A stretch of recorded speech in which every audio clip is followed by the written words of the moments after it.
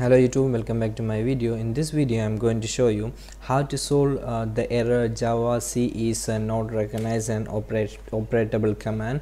Uh, in my previous video i have shown you how to uh, run a hello world program without adding to environment variable. Uh, i'll show you one example here. Uh, have a hello world program here in my f drive. You can see here hello world java. So if i'm opening it I have just uh, given a hello world uh, class and uh, a main method is there and uh, a command to print out a hello world okay? Now let me uh, run this from my F drive. I'm navigating to F drive here. Drive here and uh, if I am typing java c hello world dot java I'm just copying it and pasting it here. If I'm giving an enter it's getting java c is not recognize an internal or external command. In my previous video I have shown you uh, how to run this java c without adding to environment variable. Now in this video I'm going to show you how to add uh, that in environment variable and how to get rid of uh, this error message okay first uh, go on to the installation folder where we ha you have installed your java. So in mine it is in c drive program files in java and in jdk in bin uh, java c or java compiler has been installed here okay?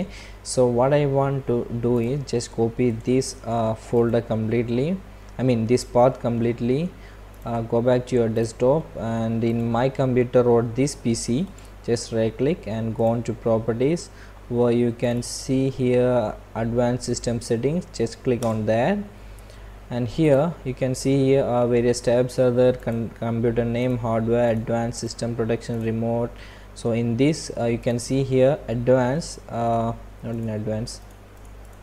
Yeah advanced uh, here uh, we can see environment variables button. Just click on that. There is user variables and system variables. So user variable depends on the users and uh, the system variables which we need to get um, add the java c or the java path inside that okay?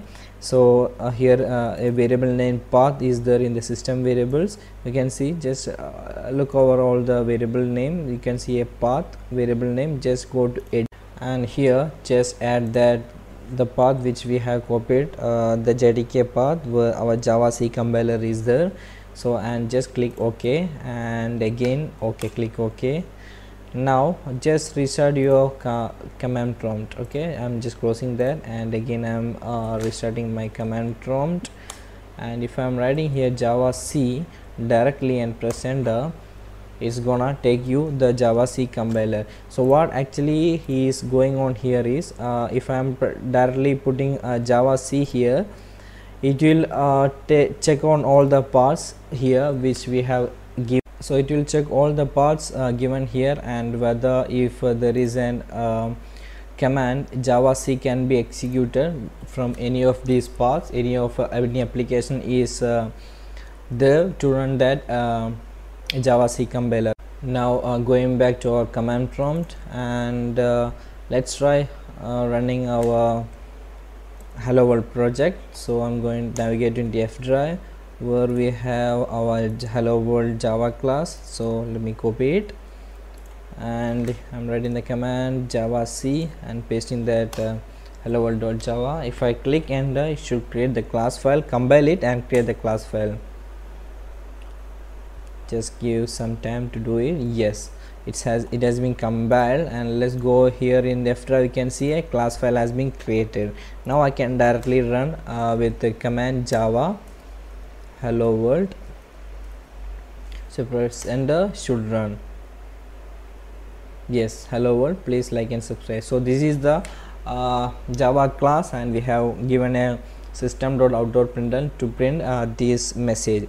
So that's all about how to add uh, anything in environment variables and how, how to add our java c compiler to environment variables and you can uh, directly run through a command prompt. So if you have any doubt in this please comment below. I'll be helping you. And uh, please like and subscribe for my videos and thanks for watching